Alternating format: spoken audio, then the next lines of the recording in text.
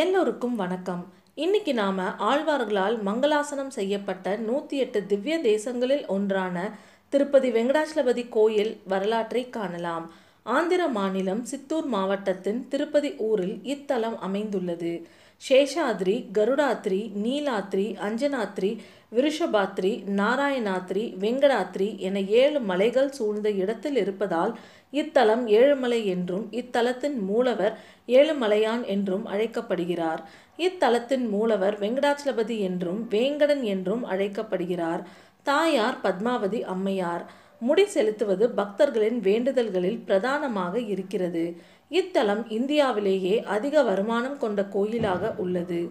இக்கோயிலின் நிர்வாகத்தினை திருப்பதி திருமலை தேவஸ்தானம் நிர்வாகம் செய்கிறது. இக்கோயில் மூன்று பிரகாரங்களையும் ராஜ கோபுரத்தினையும் கொண்டது.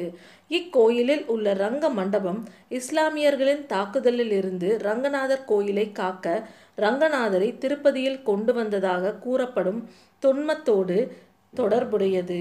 திருப்பதி கோயிலின் முதல் பிரகாரம் சம்மங்கி பிரதட்சணம் எனப்படுகிறது. இதில் பிரதிம மண்டபம் ரங்க மண்டபம் திருமலை ராய மண்டபம் சாலுவ நரசிம்ம மண்டபம் ஆகியவை காணப்படுகின்றன. விமான பிரதர்ஷன பிரகாரம் என்பது இரண்டாவது பிரகாரம் ஆகும் இதில் கல்யாண மண்டபம் விமான வெங்கடேஸ்வரர் ஸ்நபன மண்டபம் சயன மண்டபம் ஆனந்த நிலையம் மற்றும் கர்ப்பகிரகம் ஆகியவை உள்ளன.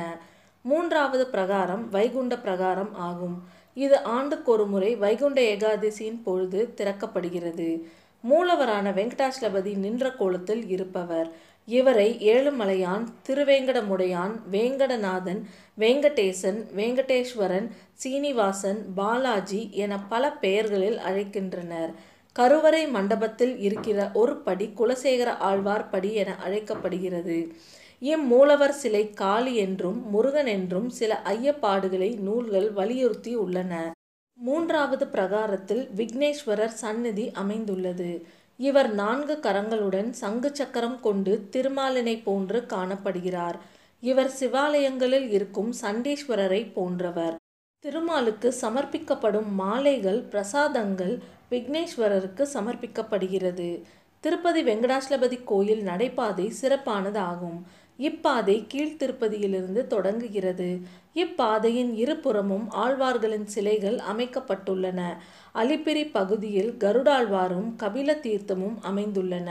இதனை கடந்து செல்கையில் ஆஞ்சநேயர் சிலையும் முழங்கால் முடிச்சு காளி கோபுரம் போன்ற இடங்களும் காணப்படுகின்றன. மண்டபங்கள்.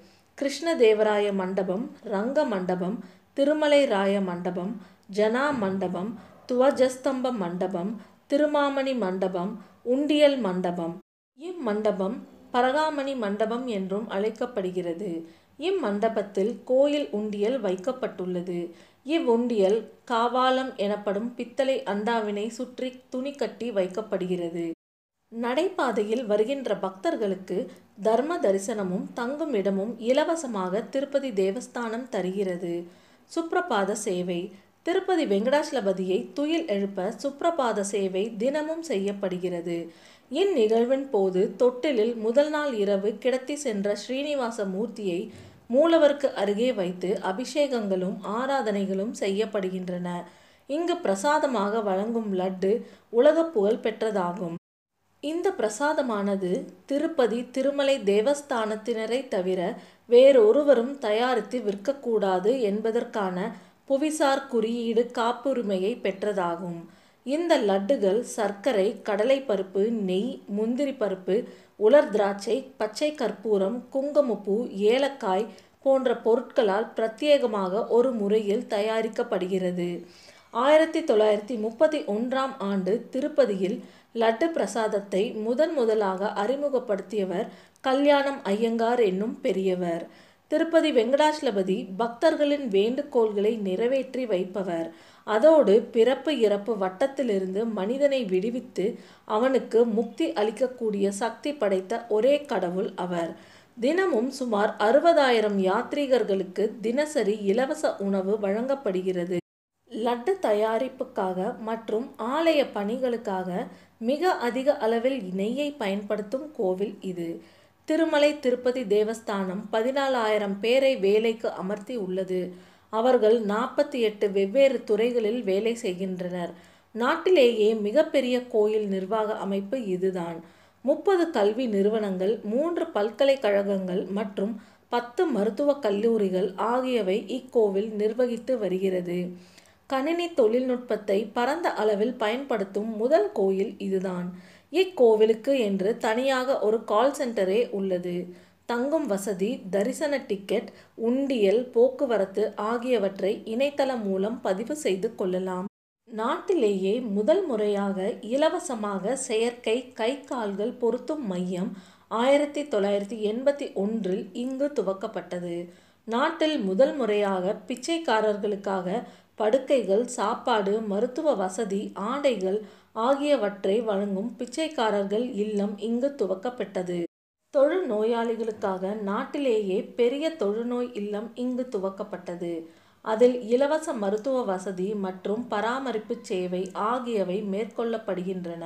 நாட்டிலேயே முதன்முறையாக அனாதை குழந்தைகளுக்கு ஒரு காப்பகம் இங்கு ஆயிரத்தி தொள்ளாயிரத்தி நாற்பத்தி மூன்றில் நிறுவப்பட்டது. திருமலை திருப்பதி தேவஸ்தானம் நடத்தும் அறக்கட்டளைகள். ஸ்ரீ வெங்கடேஸ்வரா அன்னதான அறக்கட்டளை. மக்களுக்கு செய்யும் சேவையே மகேசனுக்கு செய்யும் சேவை என்ற குறிக்கோளின் அடிப்படையில் எல்லோருக்கும் இலவச உணவு அளிப்பதை நோக்கமாக கொண்டுள்ளது இந்த அறக்கட்டளை. ஊனமுற்றோருக்கான அறுவை சிகிச்சை ஆய்வு மற்றும் மறுவாழ்வு அறக்கட்டளை. இந்த மருத்துவ அமைப்பு இளம்பிள்ளைவாத நோய் மூளை வளர்ச்சி குன்றிய தன்மை பிறவி ஊனங்கள் முதுகுத்தண்டு பாதிப்பு மற்றும் பிற பிரச்சனைகள் தொடர்பானவற்றிற்கு இலவசமாக சிகிச்சை அளித்து வருகிறது. ஸ்ரீ வெங்கடேஸ்வரா பாரம்பரிய பாதுகாப்பு அறக்கட்டளை. இந்த அறக்கட்டளை கோவில்களை பாதுகாத்தல் பராமரித்தல் மற்றும் புனர் நிர்மாணம் செய்தல் ஆகியவற்றில் ஈடுபட்டு வருகிறது. ஸ்ரீ வெங்கடேஸ்வரா வேத பாடசாலை அறக்கட்டளை. ரெண்டாயிரத்தி ஏழில் துவக்கப்பட்ட இந்த அறக்கட்டளை வேத கல்வி வேத அறிவு மற்றும் வேத கலாச்சாரம் ஆகியவற்றின் வளர்ச்சிக்காக பாடுபட்டு வருகிறது. ஸ்ரீ வெங்கடேஸ்வரா வித்யாதான அறக்கட்டளை. வறுமை கோற்றுக்கு கீழே இருக்கின்ற கல்வியில் சிறந்த மாணவர்கள் ஆந்திர பிரதேச மாநிலத்தில் உயர்கல்வி கற்பதற்கு உதவித்தொகை வழங்குவதை நோக்கமாக கொண்டுள்ளது இந்த அறக்கட்டளை. பத்மாவதி தாயார் நித்திய அன்னப்பிரசாத அறக்கட்டளை. திருச்சானூரில் இருக்கும் பத்மாவதி தாயாரின் கோவிலுக்கு வருகை தரும் பக்தர்களுக்கு இந்த அறக்கட்டளை இலவசமாக உணவு வழங்கி வருகிறது. ஸ்ரீ வெங்கடேஸ்வரா கோசம் ரக்ஷண அறக்கட்டளை. புனிதமான பசுவை பாதுகாக்கும் மேன்மையான நோக்கத்துடன் இந்த அறக்கட்டளை துவக்கப்பட்டது. திருப்பதியில் உள்ள கோசாலைக்கு வெளியே இருக்கும் பசுக்களின் மேம்பாட்டுக்கான தொழில்நுட்ப தகவல்களை இந்த அறக்கட்டளை பொதுமக்களுடனும் மாட்டுப்பண்ணை வைத்திருப்பவர்களுடனும் பகிர்ந்து கொள்கிறது. ஸ்ரீ வெங்கடேஷா பிராணதான அறக்கட்டளை. சாதி மத பாகுபாடின்றி புற்றுநோய் இதய நோய் மூளை பாதிப்பு சிறுநீரக பாதிப்பு ஆகியவற்றால் அல்லலுறும் ஏழை எளிய மக்களுக்கு இந்த அறக்கட்டளை இலவச சிகிச்சை அளித்து வருகிறது. சில ஆன்மீக தகவல்களை பார்க்கலாம். திருப்பதி மொட்டைக்கு ஏன் ஃபேமஸ் திருமலை அவருடைய இளமை காலத்தில் மிகவும் அழகாகவும் அதே நேரத்தில் நீண்ட அழகான தலைமுடியை கொண்ட கடவுளாகவும் இருந்திருக்கின்றார். பூமிக்கு வந்த கொஞ்ச நாளில் அவருக்கு கொஞ்சம் முடி கொட்ட ஆரம்பித்துள்ளது. இதனை கண்ட அவரின் பக்தை காந்தர்வ இளவரசி நீலதேவி தன்னுடைய தலைமுடியை கொஞ்சம் வெட்டி தன்னுடைய கடவுளுக்கு கொடுத்துள்ளார். அதனை மகிழ்ச்சியுடன் ஏற்றுக்கொண்ட திருமால் தன்னுடைய வரம் வேண்டி திருப்பதி ஸ்தலத்தில் வந்து மொட்டையிட்டு வேண்டிக் கொள்பவர்கள் அனைவருக்கும் வேண்டியதை தருவேன் என்று சொல்லியிருக்கிறார். லட்டுக்கு மட்டும் இல்லாமல் மொட்டைக்கும் ஃபேமஸான இடம்தான் திருப்பதி. திருப்பதி வெங்கடாச்சலபதிக்கு தேவையான அனைத்து அபிஷேக பொருட்களும் இதுநாள் வரைக்கும் யாருக்குமே சொல்லப்படாத கிராமத்தில் இருந்துதான் வருகின்றது. பூ பால் பழம் நெய் மோர் துளசி எல்லாமே அங்கிருந்துதான் வருகின்றது. கருவறை. கோயிலின் கருவறை சிலையை வைத்து வழிபடுவதுதான் ஐதீகம். ஆனால் இந்த கோவிலில் இருக்க திருப்பதி கருவறைக்கு வலது புறமாக இருந்துதான் இறைவர் தரிசனம் தருகின்றார். திருப்பதியில் தங்க வைரம் கொண்டு அலங்கரிக்கப்பட்ட அந்த சிலைகள் பெருமாள் சிலையா அல்லது முருகன் சிலையா என்று எத்தனை பேருக்கு தெரியும்? அப்படி தெரியாது என்றால் இந்த ஆதாரங்களை படித்துவிட்டு முடிவெடுங்கள். எந்த ஒரு ஆழ்வாரும் திருப்பதியின் பெருமையை பற்றி பாடியதில்லை. அருணகிரிநாதர் திருப்பதியில் இருப்பது முருகன் என்பதை அறிந்து அவரை பற்றி பாடியுள்ளார். வேங்கடேஸ்வர பெருமான் என்று வைணவ பெயரில் ஈஸ்வரன் என்ற சைவ பெயர் எப்படி வந்தது? வேலை உடைய ஈஸ்வரன் என்பதே வேங்கடேஸ்வரன் என்று பொருள் தரும்.